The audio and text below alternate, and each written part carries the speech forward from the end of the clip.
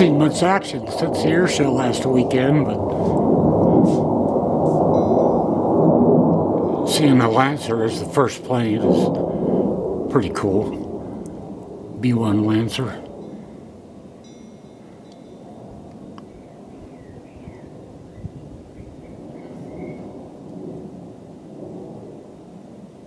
Heading back to Nellis now.